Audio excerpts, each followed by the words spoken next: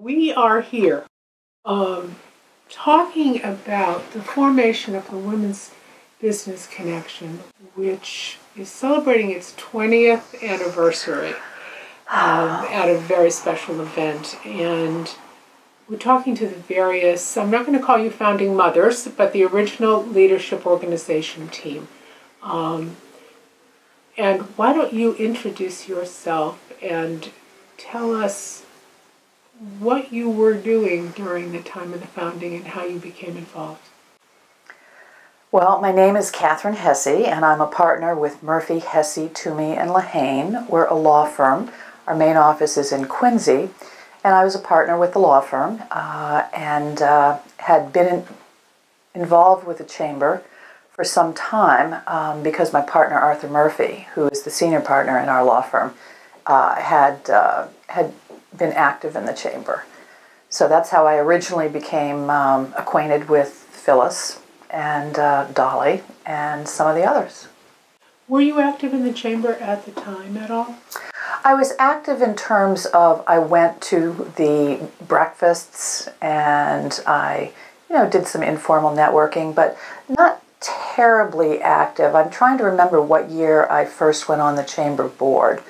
Um, I think I can't I can't honestly recall right now what year that was. It's been it's been 20 years or so. so. It's amazing, isn't it? Time goes by. So 20 years on, mm. was it worth it? What has been accomplished? Where does it need to go? Oh, was it worth it? I have to say, absolutely yes. Unequivocally, yes, it was worth it. The place of women in business on the South Shore and beyond uh, it's hard probably for young women today to realize what a different world it was back then. And it's it was hard for me to realize that it had even taken that long. When I first started in the practice of law, I was always the only woman in the room. I mean, there were just there were never any women. Um, and there was one group I was involved in, and there were three young um, young women um, who were all from very different uh, areas of the profession, but we became fast friends, even though we normally would have been opposing counsel and everything else because there were so few of us. And in the chamber, there were often very few. You know, it'd be a sea of men, and so it was. It was really, I think, so worth it because Phyllis's goal, as she changed it, was not just to put a woman or two on the executive committee. It was really to create a permanency where women would always have a major place, the place that they should have on the South Shore in business and particularly within the chamber. And it's been so good for the chamber and it's been so good for women. So, yes, it was worth it. What do you think the contribution of the WBC has been to the chamber and to the general business environment? I think that the contribution of women to the chamber has been enormous. And although perhaps a little um, originally um, some people uh, were not quite sure what this you know offshoot the WBC was all about. I think over time the entire leadership of the chamber began to realize just what a gem the WBC was. The women who were involved in organizing it, and I say that not just the small group of the steering committee, but well beyond that, were able to harness uh, volunteers who were interested, enthusiastic, had tremendous organizational skills, were able to get more people at their events than at almost any other chamber event, were able to develop mailing lists and develop you know, just techniques to develop things like facilitated networking, which had not happened at the chamber before. That really made people enthusiastic. It wasn't long before we had men beating down our door saying, "Can't we come too?" And one of the things I'm very proud about is that the chamber, that the Women's Business Connection, very early on said, "Of course, of course, this is not an exclusionary group. We want this to include everybody." And I think it's been a real lesson. And in fact, today those facilitated networking groups still stay. Now they're gender neutral, um, and there were many other things facilitate. You know, just I think women's tradition at that point of being the uh, people with hospitality skills, as it were, um, people who would think about welcoming new members into the chamber and to realize that you know you have a, a small business owner come into a chamber, you see a bunch of you know bankers and insurance people, and you don't you don't, don't know if there's anybody who really wants to talk to you or that could help you in business, and having someone to hold your hand those first couple of meetings, introduce you around. Um, concepts like that. So the ambassadors group, I think, really got a boost also from uh, the Women's Business Connection. Just so many different ways it's enhanced the chamber, and I think it gave the chamber a real shot in the arm at a time that the chamber needed it. Do you think that because of its existence, the WBC contributed to the growth of the chamber and its membership and broadened it in some way? Oh, no doubt about it. The the WBC, there were, it, it was a time when the WBC came into play women were really starting to appear in much greater numbers in many companies, and it was very clear they were going to go somewhere. And so I think that had the chamber not said, Phyllis, go with your idea, um, and had there not been the support generally, there were some great men um, who really supported, I think, Phyllis in that. And I think had it not been for that, you would have seen an exit of very qualified people, many of whom became heads of the chamber um, later on. Um, I'm talking about people like Elena Kirklis, the second chairman after Phyllis, that was a woman, so, and other people that, that were very well respected business women on the South Shore, but simply, um, well, you know, you don't hang out with them on the golf course or whatever. They were women. And I, that's changed. The Women's Business Connection even went to social things having golf clinics so that women could get comfortable in settings where men talk a lot of business that women hadn't thought of. So, really, really, really uh, core skills that brought women in, and I think it opened up a lot of men's eyes to the fact that they were losing out on a lot of talent. And it, uh, I th- it was just good all around for everyone. That's fascinating. I, and I hadn't thought about the golf or the social skills or the or the connection skills. From your own personal perspective, was there an event or an incident or um, something that's sort of emblematic of what you think the WBC um, has contributed or did?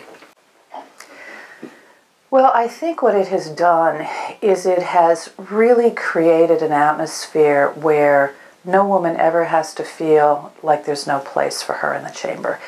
Uh, every, there's a place for every woman in business, and in fact, I think it goes beyond that. I think it really has opened up the chamber to people of all different backgrounds um, and to looking at diversity in so many different ways and realizing that the talent pool and the businesses that are out there and one of the things that I think that was interesting is that the WBC also brought data to the table to show people if you look at the number of new businesses created, not just on the South Shore, but generally, and you look at how many of them are created by women, and what a big segment of the business population you would be leaving out of your membership as a chamber if you didn't involve those people. I think that was also an eye opener. And I think one of the things that it also did is that it gave it gave exposure to talented, bright, capable women at the highest levels of the chamber. And there is there's nothing I think that's more valuable to opening up men's eyes when they weren't used to it than to just getting to know people and to realize they're not different. They think the same. They have the same financial pressures. They have to meet payroll. They have to bring in clients, and they're doing it. And they have some good ideas about it. And maybe I can learn from them and maybe we can be colleagues. And so I think it really became such a positive, positive thing. I, I have nothing but but admiration for um, for what the WBC has done and continues to do because it's still necessary. You know, I I was always one of these people who thought, well, maybe 20 years on, it won't be necessary anymore to have a women's business connection.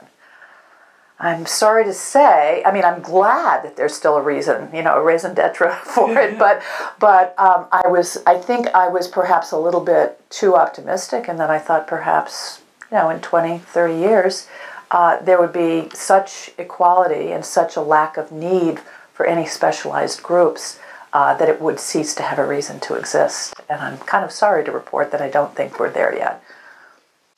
What do you think the WBC should be looking toward in this um, evolutionary development of sort of an equal playing field?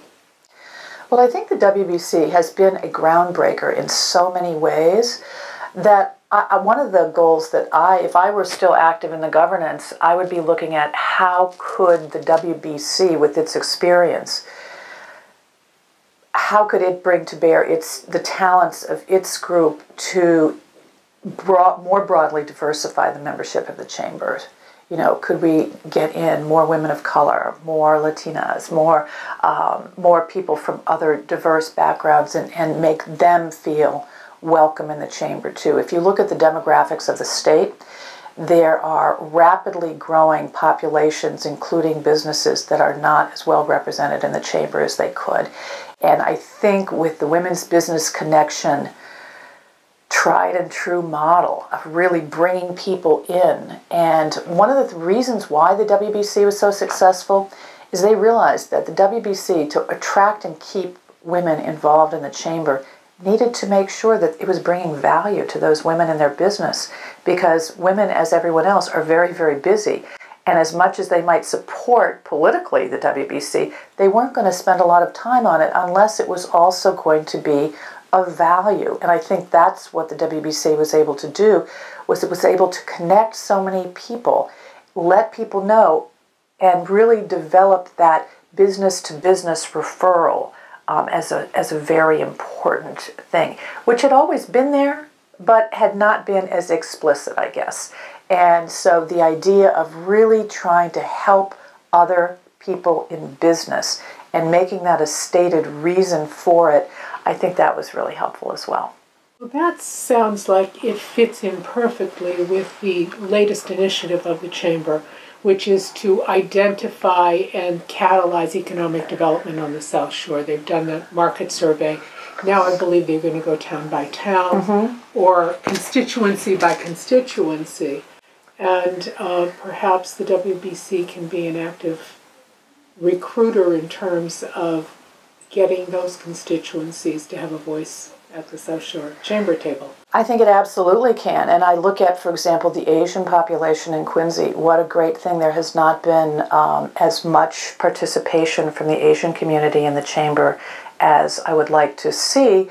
And if you look at our, one of our new city councilors here in Quincy, um, that would be a, uh, a great idea, I would think, to reach out to people who are business people in the community um, that might be able to make those connections. And I would think that someone like Nina, for example, would be a great way to start. Nina Liang, the new Quincy City. Absolutely. Yes. Young, bright. Tremendous, yeah. Marvelous.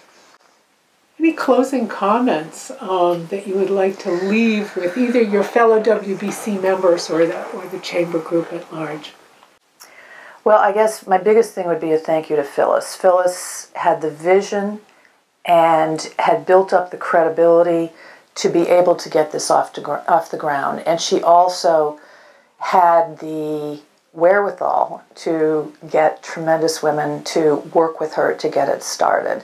And so that, I think that just making sure that the WBC is continuing to have a steering committee of very diverse women, women from very different industries. We had accountants and lawyers, we had people from banks and insurance companies, we had manufacturing, we had a lot of different things. And that's important so that you have a diverse group of people from different businesses. Today I would look at high tech. You know, you look at the innovation district. I think it's going to be really important to get women involved from the WBC in in so many of our different emerging industries, and I think uh, I think there's nowhere to go but up.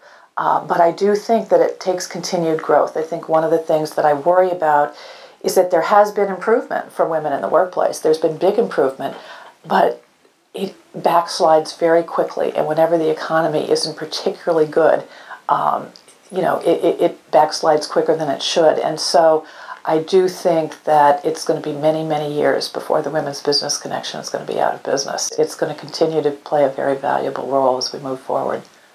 Katherine, thank you so much uh, for your comments, your contributions in the past to the WBC. And your insights into where the organization may need to go in the future. Well, thank you, Chazzy, for doing this and for all you've done um, for so many women and in your role at the Ledger and otherwise. Thank you.